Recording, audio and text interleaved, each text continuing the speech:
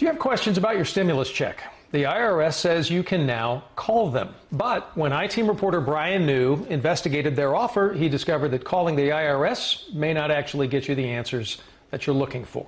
The IRS announced that it is adding 3,500 telephone operators to help answer questions about stimulus checks. But when we tried calling today, all we got was a recorded message. For millions of Americans, the promise of a stimulus check Just wondering when we're supposed to get our stimulus check. has left them frustrated.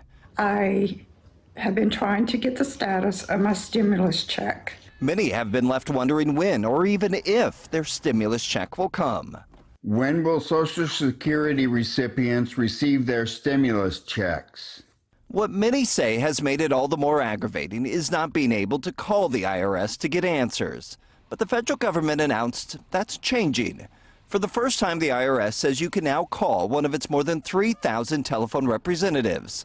But it remains unclear exactly what they'll be able to answer. In a statement, the IRS said operators will be able to answer some of the most common questions about economic impact payments.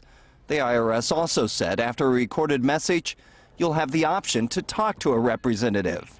But when we tried calling multiple times today, You have reached the economic impact payment. we were unable to reach an actual person. After we made it through a series of automated messages, we were looped back to the beginning.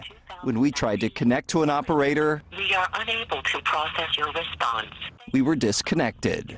So here's that number the IRS says you can call 1 800 919 9835. You may have better luck than we did as the IRS continues to add telephone operators. And if you don't, we're here.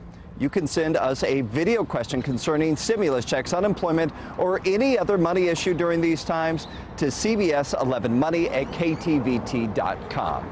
With the I team, Brian New, CBS 11 News.